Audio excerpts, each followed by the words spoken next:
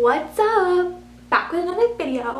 Today I'm going to be showing you my favorite supplies to use. I highly recommend all of these and they're all like a reasonable price except for the Prismacolors are a little pricey but everything else is affordable. So subscribe, like, all that. What am I doing with my hands? I don't know. I'm tired. Okay, let's get into it. Yeah, get into it. Anyways, the first thing I want to show you guys is Prismacolors because I use them all the time. They're my favorite thing to use and they're lifesavers. This is the Prismacolor Premier Pack, 150. They're my lifesavers. Like, I used to have Blick colored pencils before that, and they were good, but like, this has so many colors, and it's just like amazing. Like, it doesn't get better than this. So I use it on colored pencil drawings. I use it, like, I put markers on the base and then use colored pencils over it. What else? Oh, if I'm doing, like, a drawing on black paper, I'll use the white Prismacolor I actually had to order more white Prismacolor pencils because I literally ran out of my white Prismacolor color pencil two or three weeks in. like it, like the white goes like that. Definitely highly recommend like ordering more whites if you can. So now you're gonna see like a really arty slow-mo of the Prismacolors because I think I'm arty and I'm not. I'm really not. Also, I'm gonna put the price right here. Gonna show up somewhere. Okay, probably not right here. It's probably gonna show up somewhere else. So I'll like write the price down for all the things that I'm telling you about.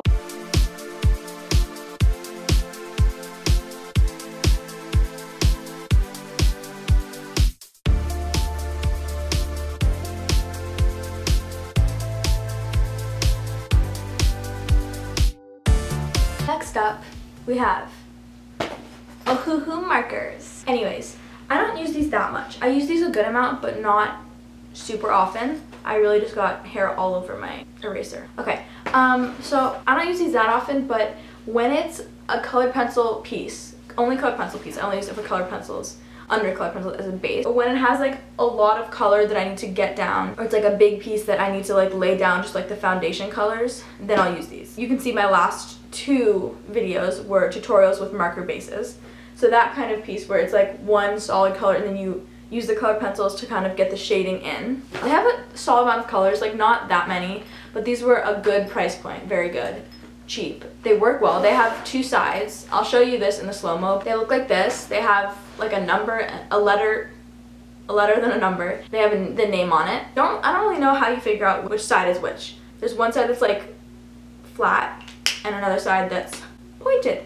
I highly recommend these. They work well, they lay on great, and they serve the purpose they need to serve. I would invest in them. 10 out of 10 recommend.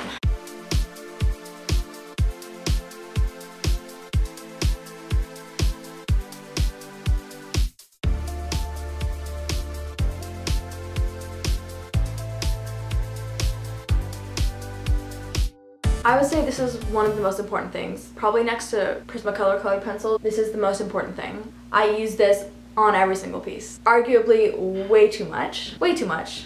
Like an abnormal amount. I need to learn how to not use it or blend it more or both. Yeah, it's been a problem. I've gotten better, I promise. And you know what, right now I'm going to show you some before and after. This is before when I was really bad at, at using too much white pen and I didn't blend it at all. This is after when I learned how to blend it and it's still not amazing but it's more blended and I use less of it.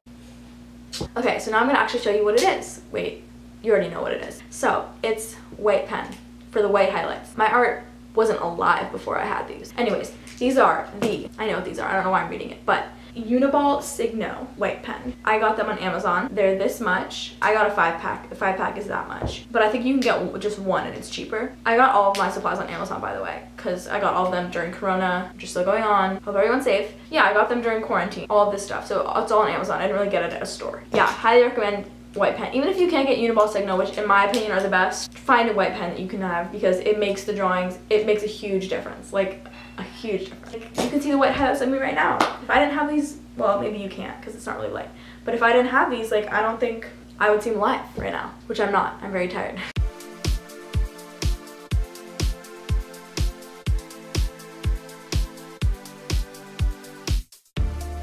Okay, so I'm gonna lump a bunch of these together because these are like the most basic materials that I have here. First of all, mechanical pencil. Um, this is Papermate Sharp Writer number two pencil. I got like a huge box. It's on Amazon for school because I use mechanical pencils because they're superior. But I used to use graphite pencils, like the proper artist ones, and they just didn't work with me. Like these are like very thin and light, so I can erase it very easily, which leads me to my next point. Did you see that transition? I'm a pro. This eraser. Well, I have multiple erasers, yeah. These two erasers. But this is probably the best one. It's a kneaded eraser, by the way. I think I got it at Blick, actually, but I'm sure you can get these on Amazon, too. Yeah, you just, like, kind of dab it on to the pencil. I'll insert a clip of me dabbing it on here.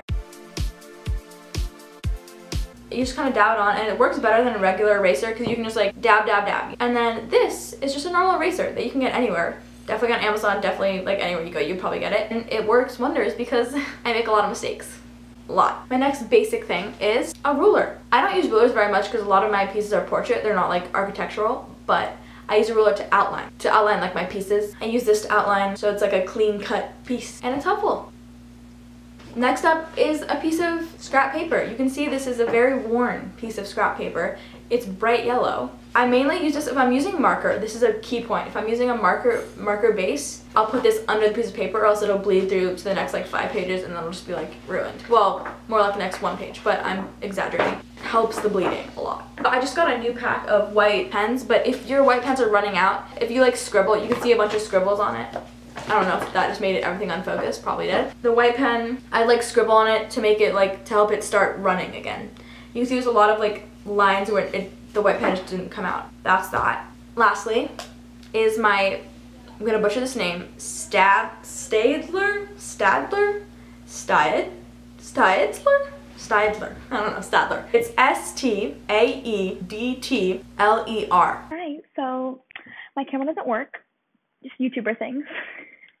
um, so what I was trying to say is that the Stadler pencil sharpener is superior to all other sharpeners and it was actually given to me by my wonderful twinny. And I'm deeply appreciative and forever in debt to her. And I used to use a stapler pencil sharpener and it was really crappy and the pencils always broke off, like the tips. And this one, it rarely does that. More like a 5% versus a 80%. So highly recommend and the price is right here. Thanks for listening to my TED Talk. It's it's midnight and I'm tired.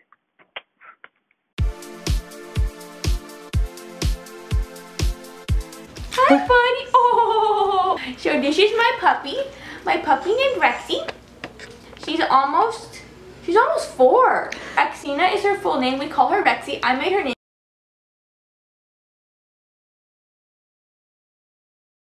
Hello, we're back because my camera died, and this is Rexy. I said she was four. She's actually turning three soon, right? Yes. She's very tired, and she's like a sack of potatoes, and I want to introduce you to her. This is my twinnie named Gemma. Hi, guys. And Butch is not here currently because he's attached to Mother. Yes. Oh my god, look at that. Thanks for tuning in. My camera is back alive, so I'm going to show you a few more products. So first of all, we have Strathmore Sketchbook. So this is just uh, white paper, this amount of money. It's just great quality and a bunch of pages, and I like the size. This is five and a half by eight and a half inches. And then we have this one, which I like even better. It's the toned gray Strathmore sketchbook. A lot easier on colored pencil. Um, like this is an example, it's like easier to use color. This is also five and a half by eight and a half, but I actually recently got a bigger version right here. Um, all on all on Amazon. The smaller version is this amount, the bigger version is this amount. I also use this black sketchbook for like white drawings. Um, it's just use wet colored pencil and I also got this on Amazon.